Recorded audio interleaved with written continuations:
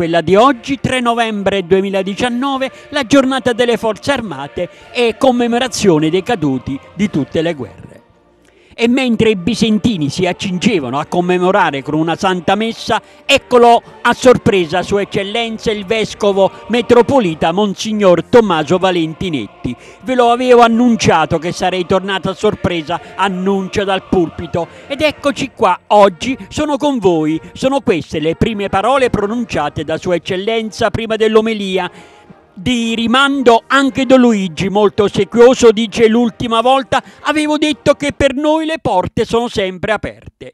Don Luigi era stato avvertito del suo arrivo il giorno prima. Poi comincia la Santa Messa, riservandosi di dirci una cosa importante un grande messaggio alla fine della Messa. Quasi tutti i presenti avevano già intuito in quanto nei giorni scorsi si parlava già del servo di Dio, il seminarista morto in onore di santità Pasqualino Canzi. Anche perché anche Monsignore ce n'aveva parlato nella settimana in cui Sannunzio Sulprizio arrivò pellegrino nel nostro paese.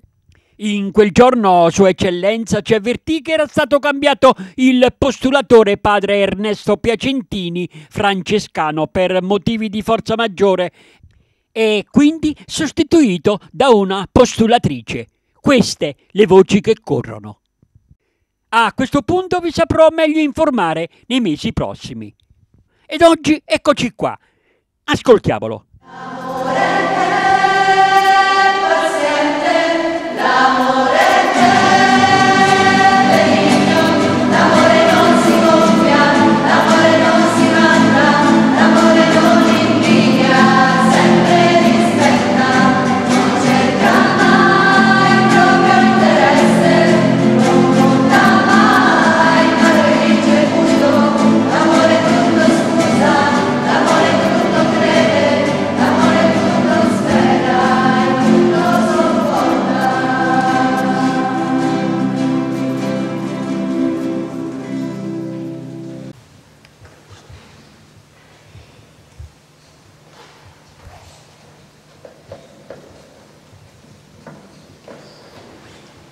Sedetevi un minuto.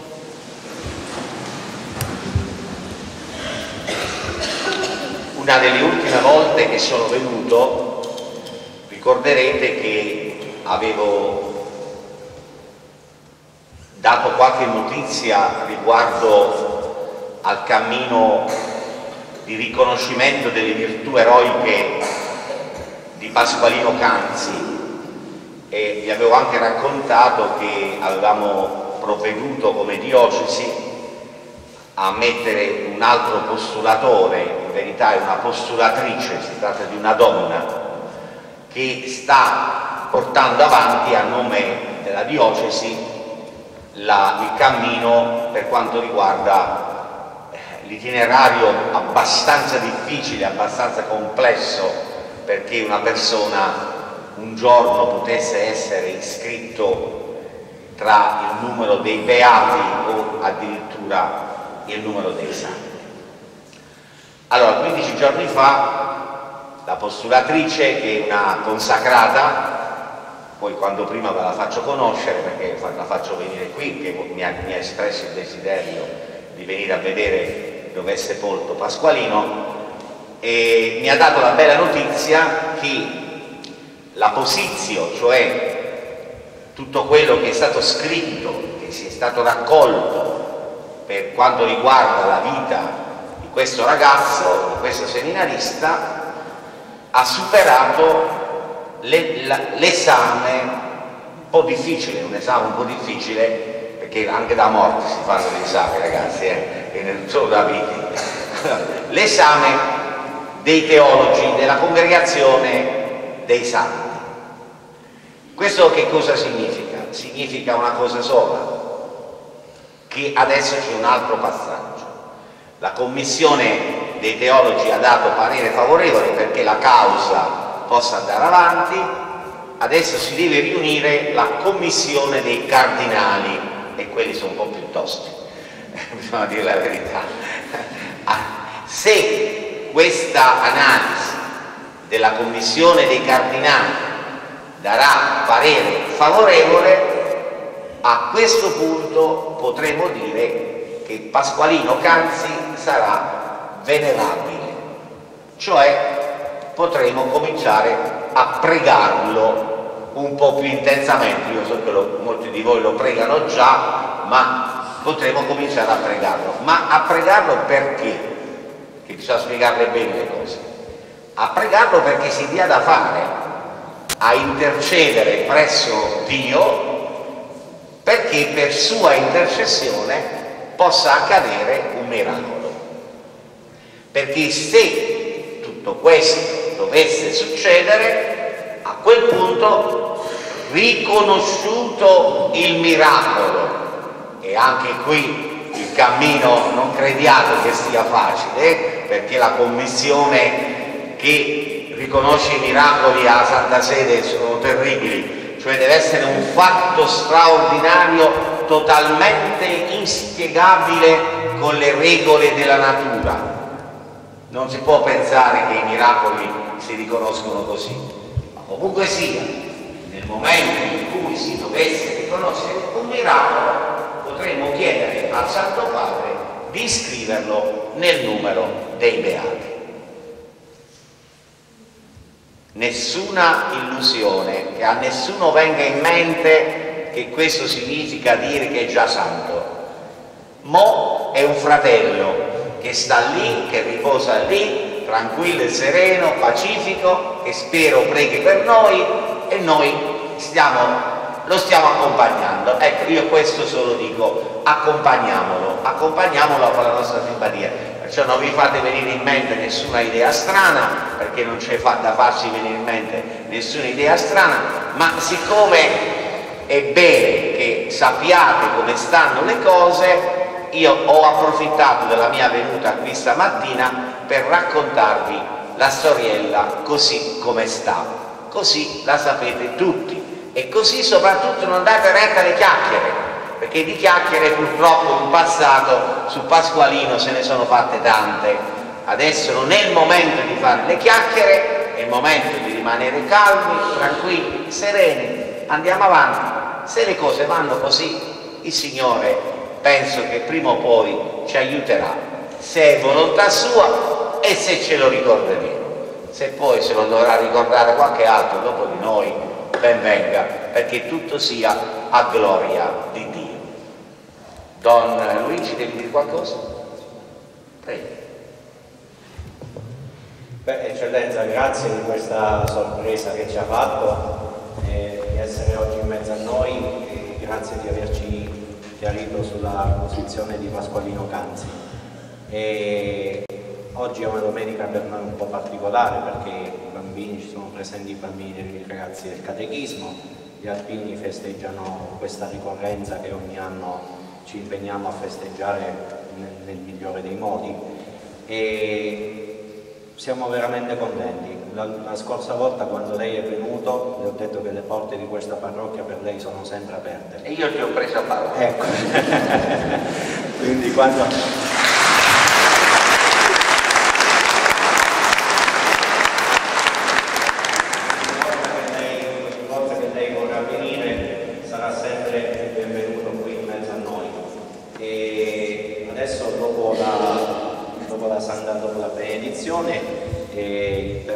l'arcivescovo che... Io mi dispiace non vi posso accompagnare che devo riscappare a pescare perché oggi pomeriggio presto ho un altro, un altro piccolo appuntamento.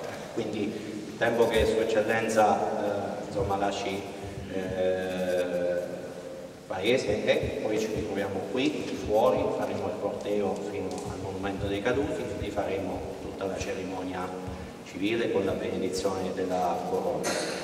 Poi un altro avviso vi volevo dare, venerdì 8 novembre faremo alle ore 20 il secondo appuntamento dell'adorazione eucaristica che abbiamo iniziato venerdì 4 ottobre ad Assita, questa volta tocca a Pisende, quindi venerdì 8 novembre alle ore 20 l'adorazione eucaristica con i vespri presieduti.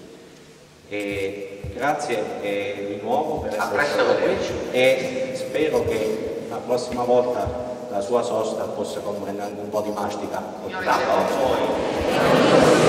Sia benedetto il nome del Signore, il nostro aiuto nel nome del Signore. Benedica Dio Onnipotente, Padre, Figlio e Spirito Santo. Glorificate Cristo con la vostra vita, andate in pace.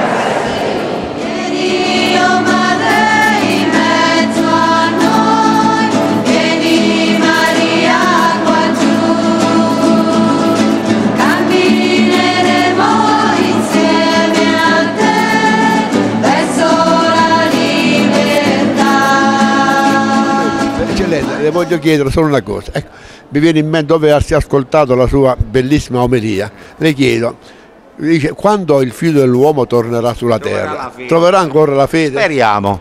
Eh, Una, una mi dica, per esempio, il sangue dei nuovi martiri, questa, eh, questa apertura alla santità di molti giovani, abbiamo visto Nuto Surplice e forse anche Pasqualino Canzi, cosa vorrà dire al mondo che... Ma i santi ci sono sempre stati, Ma questi non sono né, bisogna, né, bisogna solo sì, ma riconoscerli. questi non sono né eremiti, né No, no, sacerdoti, ma, né ma anche, ma anche- ma anche- anche- giovani seminaristi sono stati, ce ne sono tanti di santi come in Pasqualino, non è, non è una novità.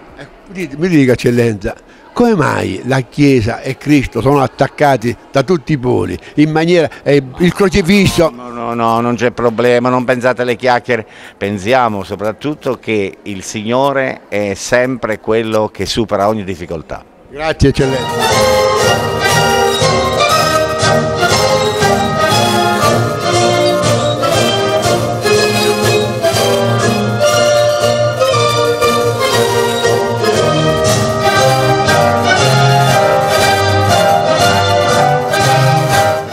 Benedizione di Dio Onnipotente, Padre, Figlio e Spirito Santo discenda su di voi e con voi rimanga sempre. Io stamattina un ringraziamento a tutti quanti che siamo qua, ora se vuol dire qualcosa il sindaco e dopo intanto ci ha dato la possibilità pure il tempo di, di fare questa manifestazione. Io sinceramente due parole le volevo dire, ma visto il tempo preferisco che forse ce ne andiamo e non bagnarci. Io vi ringrazio per la partecipazione, ringrazio il gruppo ANA, Rafino di cui mi onoro di far parte perché senza di loro penso che queste manifestazioni non si potessero fare. Sicuramente sono ma- manifestazioni soprattutto per i giovani, perché avere la memoria di quello che è successo per non ric- ricadere negli stessi errori è, è- è basilare per la nostra sopravvivenza e soprattutto eh, perché i nostri caduti, c'è un grosso amico mio che ogni tanto mi ricorda che forse meritano un'attenzione particolare, queste persone che hanno dato la vita per la pace. La pace è una cosa che noi abbiamo, però di cui non ci rendiamo conti. È, un- è come una pianta che va coltivata ogni giorno sia dalle, dalle istituzioni ma soprattutto da noi. Noi perché certe manifestazioni come quello della, della tolleranza nei confronti di chi ha magari il colore della pelle diverso oppure ha una condizione sociale diversa da quella nostra, sono poi alla fine eh, dei baluardi che vanno mantenuti perché possono aprire porte a qualcosa di, di- di- di brutto della nostra società. Io non voglio farvi bagnare, vi ringrazio per la partecipazione e ci vediamo l'anno prossimo, grazie. Oggi come commentiamo la bella notizia che ha portato Sua Eccellenza Monsignor eh, Tommaso Valentinetti? Allora, eh, ne stavo parlando con eh, Don Luigi e con gli altri amici che venivano con me eh, durante la sfilata. Mi è piaciuto pure il modo sommesso in cui il, il- il Vescovo ha portato questa notizia. Una bellissima notizia per la nostra comunità, una notizia che eh, mh, sicuramente accente gli animi a, a una visione eh, diversa di quello che può essere la nostra comunità. Però eh, questa è, è una notizia che ci deve rendere orgogliosi, ci deve rendere, rendere felici, ma va fatta con umiltà e con, eh, in silenzio, perché al- al momento quello che, che ci serve, perlomeno per chi ci crede, è che devono funzionare le ginocchia, diceva Don Giovanni Cianciosi, perché bisognerà pre- pregare perché questo santo possa intercedere presso le alte sedi per noi e che si possa avvenire quel miracolo che aprirà la porta a qualcosa di più sostanzioso e di più eh, bello per il nostro paese. Lei che pensa che noi ricorderemo questo, questo grande evento? Diciamo che più che altro me lo auguro, però insomma, no- noi abbiamo un'età certa ormai, quindi mm, no, no, non ti so dire.